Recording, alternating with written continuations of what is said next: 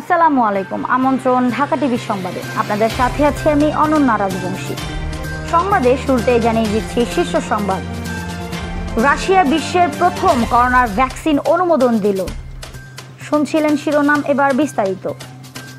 বিশ্বের প্রথম দেশ হিসেবে প্রাণঘাতী করোনা ভাইরাসের ভ্যাকসিনের অনুমোদন দিয়েছেন রাশিয়া। দেশটির প্রেসিডেন্ট ভার্দিন পুতিন ঘোষণা দিয়েছেন তার দেশে স্বাস্থ্য মন্ত্রণালয় বিশ্বের প্রথম করোনা ভাইরাসের ভ্যাকসিনের অনুমোদন দিয়েছে। পুতিনের মেয়ে ইতিমধ্যে ওই ভ্যাকসিন গ্রহণ করেছে বলে জানিয়েছেন পুতিন।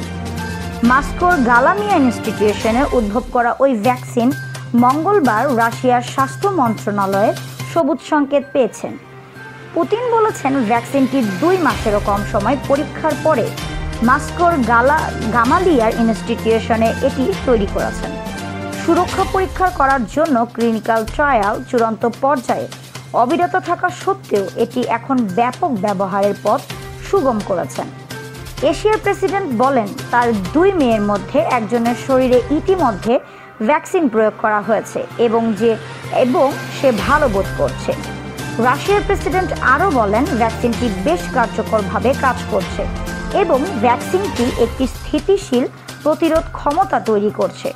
করোনার ভ্যাকসিন শীঘ্রই ব্যাপক হারে উৎপাদন শুরু হবে বলে আশা প্রকাশ করছেন পুতিন। ধন্যবাদ এতক্ষণ সাথে থাকার জন্য।